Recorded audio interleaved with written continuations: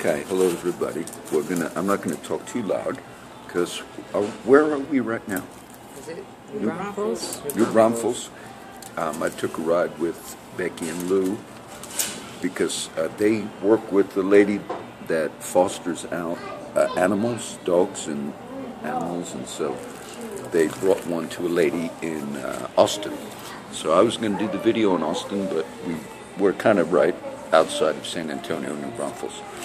Uh, what I want to do, and I won't go too long, we stopped for lunch. Um, the study of First Samuel, which I did a few of them with Becky and Lou, and we're going to finish it today. And it's just one chapter, which is chapter 31. But if Becky remembers, when we were, uh, I was teaching about King David and how King David was chosen by God to be the next king of Israel. But the, the king, the first king, whose name was Saul, he basically, throughout the story of Samuel, in the first Samuel, Saul is pursuing David, trying to kill him, and every, and the, every opportunity that King or David gets to take out the enemy Saul, meaning Saul's after him to kill him, David always passes it up, meaning he'll take like a some clothing from Saul and a water bottle, and he snuck into the camp. And then uh, David woke up Saul and his men and said, "Look, I had the chance to kill you, Saul. Look, I have your water bottle here." And uh, Saul then says, David says, "I didn't kill you. See, I'm still, you know, nice. I'm still your friend, Saul." And that goes on. That goes on throughout the book. But at the end, I, I'll review real quick. Oh, do you want me to do the one chapter? It's right at the end. What? The chapter where it's called The Witch of Endor. Uh, yeah. Do you know that one? Okay, No. because they we pass up a lot of palm readers and stuff, fortunately. Oh, yeah.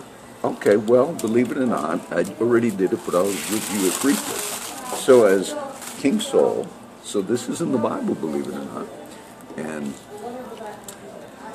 at one point, Saul, right at the end of his story, God stops speaking to Saul.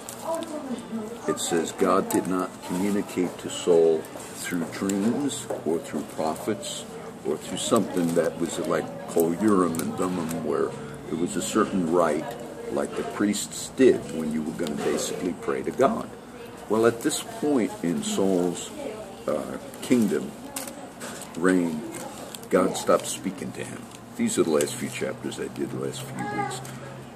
So what Saul what Saul did was this. He told his men, go find a medium. Basically like a palm reader, like what we're seeing. So in the Bible, Saul said to his own guys, I want a fortune teller or a medium. Well, Saul had previously banned all mediums, sorcerers, witches. He kicked them out of the land uh, under judgment of death if we catch you. But at that stage, Saul was so desperate because God stopped speaking, he said, Go get one.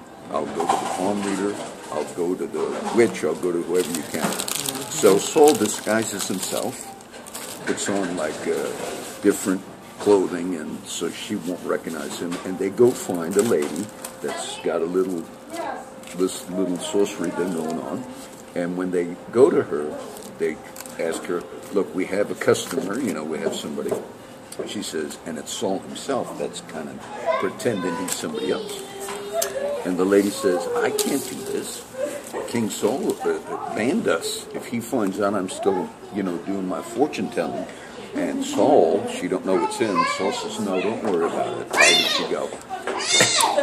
And the lady asks Saul, Who do you want me to bring up from the dead? Basically, like the movie Ghost with the seance, remember with Whoopi Goldberg? Well, he tells her who to bring up. And sure enough, and I, I'm not going to teach holding again, Saul wants to hear from Samuel the prophet, who had already died, who this book is named after Samuel. sure enough, the lady is seeing what the Bible says gods come up out of the earth, and she screams. She, so that kind of indicates maybe she wasn't really a medium, meaning doing it, and maybe in this case it happened for real because God permits this to happen. Different teachers have different views on this, but when Samuel comes up in spirit, he says, "Why did you disturb me?" And he's now talking to Saul, and Saul said to Samuel, or Samuel said to Saul.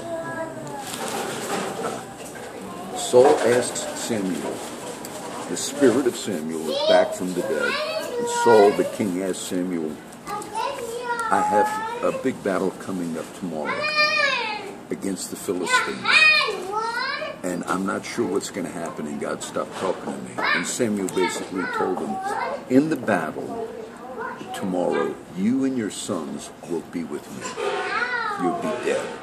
And God had already told you, Saul, that he left you and David is the next king. Okay.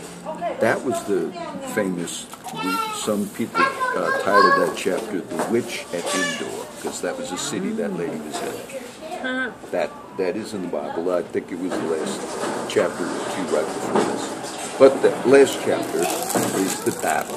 Saul finally, and this is the end of the book of Samuel, and then I'll say I'll make a few notes at the end. They go to battle against the Philistines. The Philistines kill. The Philistines uh, kill uh, Saul's men. They get his kids, and then they wound King Saul with a bow and arrow. Hit him with an arrow, and Saul does not want to die at the hand of the enemy lest he's afraid they might abuse his body, it says, meaning torture him. And he turns to his like bodyguard, armor bearer, and he says, Go ahead and kill me. I don't want the Philistines to finish me off. And the armor bearer, his bodyguard, is afraid, and the bodyguard says, I'm not going to kill you. So Saul falls on his own sword, kills himself. And there's a few suicides in Scripture, and the other famous one is Judas. And it's interesting because Judas betrayed Jesus Christ, who was the anointed one. And, at, and his own uh, punishment was at his own hand. Judas hung himself in the New Testament, very famous suicide. But in this case, Saul also kills himself. And he was also, at that stage, going against God's anointed, which was King David, who is a type and a picture of Jesus Christ. And what happens at the end is it's kind of sad because that's the end of the reign of King Saul. And at that stage, because of the history of Saul, he was going to have, he had the priests killed by this time. He already was away from God. It would be like if you were in a business or in a ministry or whatever, and everybody knew, oh, it's over. That that business is done, or that church is finished, or whatever. That's at the stage that this happens in the life of King Saul. Everybody realized that it was over, except for Saul, and he went right to the end and it finished. But something interesting happens here in the sad chapter of the end of the death of Saul. The Philistines who killed him, they chop off his head they send the head all to all the other Philistines, which is the same thing that King David did when he killed the Philistine champion by the name of Goliath, which is a sign of victory or a sign of like you're shaming the enemy. And then they took the body of Saul and they and his armor and they placed it at one of their pagan temples, which was a god for Ashtaroth. Okay? Which is one of the Philistine pagan gods, and they desecrated it. But this is the one interesting point. I guess there's not a whole lot in this last chapter. This is chapter 31. But there were people that lived in a little town called Jabesh Gilead. And it says, when these people heard how Saul's body was hung up on the wall, and his son Jonathan, who died as well, and the other two sons, they traveled all the way to the area where the Philistines had Saul, his body. They took it down and they brought it back to their town. And they didn't bury him. It says they burnt him, but they buried his bones because his body was probably already messed up. And it says these people in this little town, they fasted seven days in lamentation over Saul. And why did they do that, the people of Jabesh Gilead? Because earlier on in the history of Saul, he defended those people. He defended them against, I think it was the Ammonites. So they remembered, even though he was hated by so many people at that stage, there was some good things he did that people remembered. You know, Fidel Castro just died. Today, as I speak, uh, the famous astronaut uh, John Glenn died today because I checked the Google, you know, the news. But a f- uh, about 10 days ago or so, Fidel Castro died. There were the leader of Cuba. Wow. A lot of people uh, have different world reaction. In this country, many of the uh, Cubans that live in the, one of my best friends growing up was a Cuban, and he, uh, you know, experienced came over when he was young from Cuba to Florida. There's a lot of different uh, immigrants do, but they hated Castro, rightfully so because he was oppressive. He did a lot of bad things. But there were some people that, and I watched the interviews of, of Castro. Some people praised him, and I know that the critics of Castro, because of his history, thought it strange. And even the Pope made a statement like, and even President Obama was not as critical of Castro as others were in this country. But in this case of Saul, it reminded me of that because he was bad at the point of his death. He did a lot of bad things and he killed innocent people. But he did do some good things before he got that bad. His motivations were not necessarily all wrong from the beginning. And if I did a brief history of just the Cuban Revolution, uh, because Che Guevara, Che, the famous uh, revolutionary, he assisted in the overthrow of a man by the name of Batista, who was the leader of Cuba, backed by the United States. And if you just looked at the Cuban Revolution, what happened when Castro, and along with the assistance of che, uh, the famous Che Guevara, it was really astounding that they had their revolution. And I'm not saying the communist revolution in Cuba, everything I agreed with. Obviously, I don't. But there were some people that said yes, that they they thought he did something that was not wrong. Not a lot of them, but some did. And in the death of Saul here at the end, he did some good things along the road. But that's the completion of the story of Samuel. I don't think I'm going to do uh, Second Samuel, and I'm not sure what we'll teach next. Uh, maybe the book of Galatians. But and I'll do a real brief overview and we'll be done because we're still sitting in the taco place. Um, the main thing about the book of Samuel was the importance for people that study the Bible is Samuel was the prophet that was born supernaturally because God uh, allowed his mom to have the child, for him to be born. He was dedicated to God from his birth. And God never wanted the people of Israel to have a king, but the people asked and wanted a king. And when God gave them the first king, who was Saul, God permitted that. But Samuel, the prophet, who the book is named after, he reminded them, he said, I'm going to let you have this king. You put all your hopes in this king. And you want to have a human king that you all can pin everything on. And Samuel said, But you rejected God when you did that. You rejected God by putting all your hopes in a human.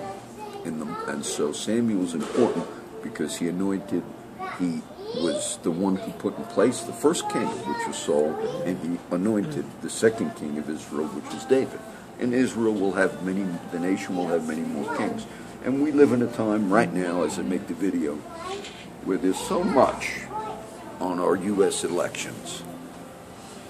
And I think we deceive ourselves. whether you supported Hillary Clinton or Donald Trump or whoever you're going to support down the road, many elections.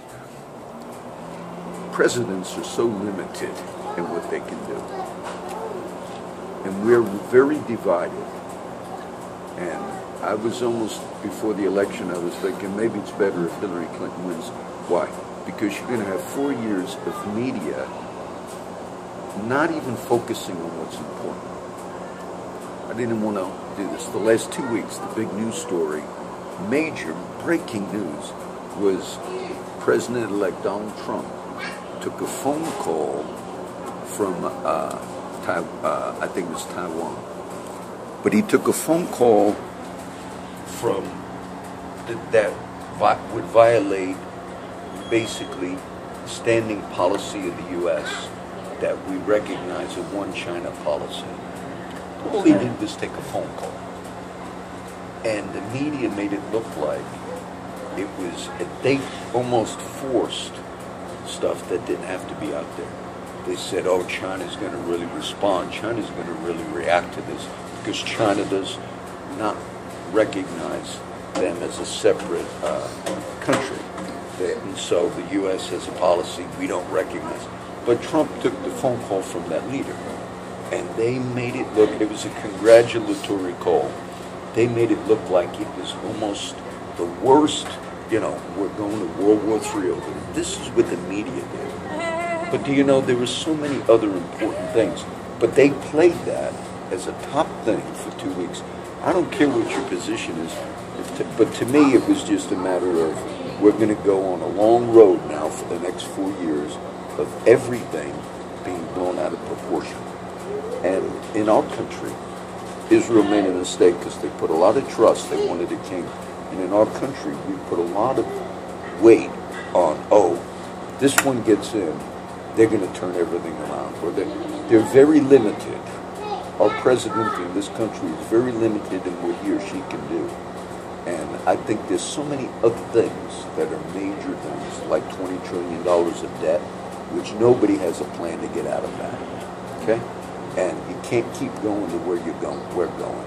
And there's a lot of manipulation of things in this country. But at the end, we're going to end with that because I don't want to go too long. Um, God, I want to, the story of David, which we would cover in 2 Samuel, but, but David is going to become obviously recognized as next king, and he's going to bring the people of God back, or Israel at that time. He's going to bring them back. He's going to establish a lot of great things, God's going to uh, do great things with King David.